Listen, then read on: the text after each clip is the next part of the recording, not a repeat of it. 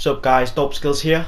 Today I've got a bit of a different video to my normal GTA 5 and Black Ops 3 glitch videos. So basically I'm going to be showcasing the Bowie knife on multiplayer in Black Ops 3. I'd like to thank Ario Shocks for letting me dupe his account, I'll leave his link in the description, you should go and check him out. So I'm just going to let the video play here now, I hope you enjoy, if you do remember to hit that like button and subscribe and uh, yeah, peace.